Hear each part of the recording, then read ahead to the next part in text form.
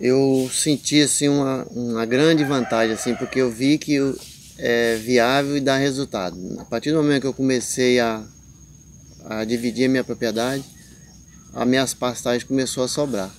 Eu vi que é, é uma coisa muito boa mesmo, que tem que ser feito.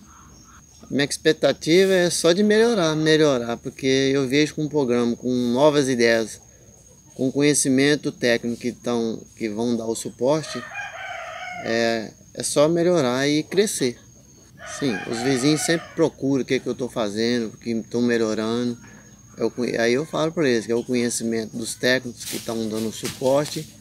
Isso aí só tem a agregar e, e crescer.